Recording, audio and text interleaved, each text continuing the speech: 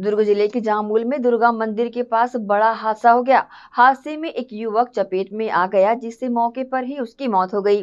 घटना से आक्रोशित ग्रामीणों ने देर तक चक्का जाम किया। दुर्ग ज़िले के जामुल स्थित दुर्गा मंदिर के पास सोमवार को बड़ा हादसा हो गया। यहाँ एक युवक हाईवा की चपेट में आ गया, जिससे उसकी मौके पर ही मौत हो गई।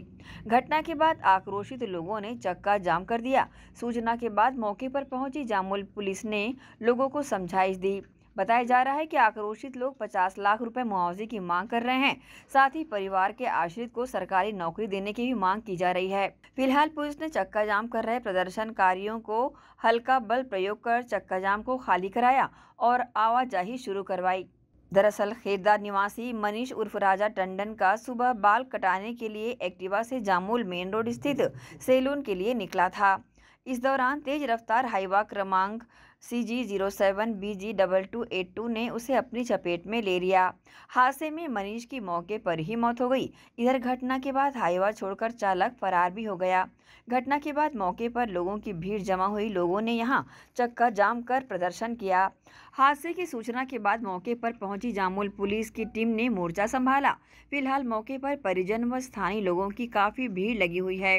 लोगों का कहना है कि यहाँ अक्सर हादसे हो रहे हैं और यहाँ से गुजरने वाले भारी वाहन काफ़ी रफ्तार में होते हैं। मृतक मनीष के संबंध में ऐसा बताया जा रहा है कि वह अपने माता पिता का इकलौता लड़का था। वही हादसे के बाद मृतक के पिता रामनाथ टंडन का कहना है कि 50 लाख रुपए मुआवजा और बीएसपी में नौकरी चाहिए और पालन पोषण करने वाला वह अकेला लड़का था। साथ ही कहा कि मेरी परवरिश कौन करेगा, इसलिए मुझे बीएसपी में नौकरी दिलाई जाए। को पचास लाख रुपया चाहिए और मेरे को ना बीएसपी में नौकरी चाहिए परमानेंट। मेरा नाम रामनाथ टंडन है। रामनाथ टंडन मेरा एक एक लड़का था, मेरा परवरिश वही करता था। मैं थोड़ा बहुत मेरा परवरिश करने वाला कोई नहीं है। अब मैं कौन करेगा मेरा परवरिश? मेरे को नौकरी चाहिए, परमानेंट चाहिए। और मेरे को अभी पचास लाख रुपया चाहिए। नगद नगद। चाहिए मेरे को। वहीं सीएसपी आशीष बंछोर का कहना है कि जामुल में एक रोड एक्सीडेंट में युवक मनीष की मौत हो गई। उसके बाद ग्रामीणों के द्वारा रोड जाम कर दिया गया। ग्रामीण और परिजन मुआवजे की मांग कर रहे हैं। शासन स्तर पर बात की जा रही है। आज ग्राम जामुल में